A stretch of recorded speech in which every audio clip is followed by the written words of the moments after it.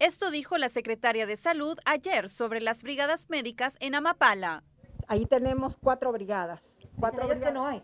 Bueno, ese, nosotros sí tenemos el dato, son cuatro brigadas que se han estado desplazando de casa en casa. Ya tenemos incluso identificado todos los casos positivos a los cuales se les ha estado dando seguimiento. Se les ha dado el tratamiento. De hecho, por eso no tenemos hospitalizados, porque la Secretaría de Salud a través de la región sanitaria le ha estado dando el tratamiento a los 57 casos positivos que hemos tenido en esa isla en este momento. Entonces, el trabajo que corresponde ahora es verificar, confirmar con PCR otros casos que se puedan identificar. ¿Esas brigadas tienen pruebas?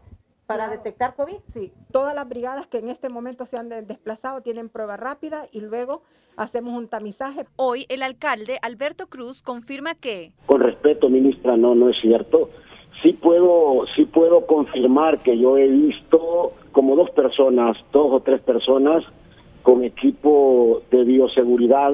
No tengo conocimiento así como para poder decir que hay cuatro brigadas, no, no es cierto, no hay cuatro brigadas médicas. Quisiéramos nosotros, más bien quiero aprovechar para pedirle a la ministra que es un tema que nos tiene preocupados a raíz de esta, de esta brigada integral que hizo hoy mismo eh, el, el 15 de septiembre en el municipio detectando un 56% de casos positivos de los de los que llegaron a realizarse prueba y esto nos tiene un poco alarmados.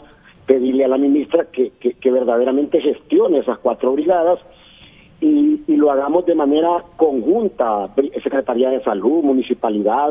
Al final este es un problema de todos, pero yo quiero ser contundente en esto. Yo no he visto cuatro brigadas en el municipio. Con respeto, ministra, no, no, no los he visto. Me he comunicado con el personal que trabaja en el en el CIS de Amapala y para confirmar, para ver si ellos conocían y bueno, me han confirmado que lo que hay es un médico que anda visitando algunas casas, pero no hay cuatro brigadas, eso no es cierto. Sí hay un médico, entonces, ¿está mintiendo la ministra? Bueno, si, si ella dice que hay cuatro brigadas, pues la verdad que no hay cuatro brigadas sí confirmé que hay un médico, una enfermera y, y, dos técnicos. Expertos se unen a la petición de hoy mismo de intervenir la isla del Tigre. Mire, que con esa información que Melgar encontró allá, que nunca hubiéramos sabido porque no hay brigadas de ese tipo por parte de CESAL. Entonces nosotros le estamos diciendo a la CESAL, intervenga pronto, vaya temprano a hacer contención masiva y también búsqueda de un traje para, y recurso humano para que vaya. 100 pruebas para detectar el COVID-19 se realizaron en la Brigada Médica Integral de Noticieros hoy mismo, 38 mujeres y 62 hombres, con un total del 56.5% de positividad. De ese total, el 87% son asintomáticos. Dorina Murillo, Noticieros hoy mismo.